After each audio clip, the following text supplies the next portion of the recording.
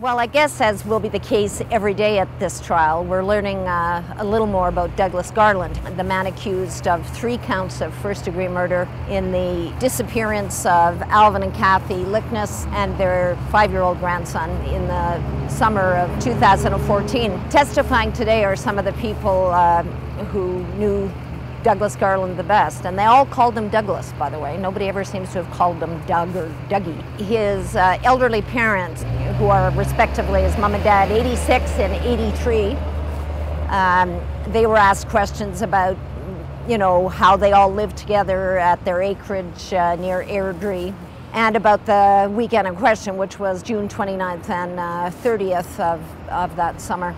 You know, these are very uh, alert, especially uh, Mrs. Garland, who is 83, she's uh, super with it and super mobile, and his dad's uh, not doing too badly either for an 86 year old.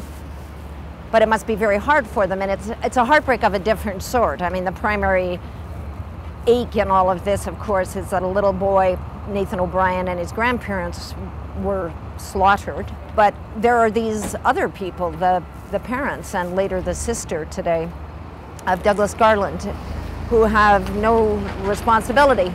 Anyway, what we learned about uh, Douglas Garland is that certainly for the last number of years, every Monday he had a psychiatrist's appointment in Calgary, and he appears to have attended all these appointments uh, faithfully. His parents remember it being part of his routine. And he apparently got an undergrad degree at a, a, Lutheran university in Alberta and then was accepted into medical school at the University of Alberta but he suffered, his mom said, some kind of a breakdown there and only attended a few months.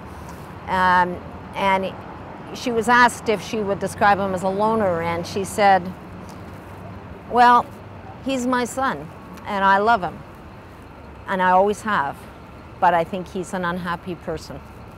Kind of tears your heart out in every level. That's it from me.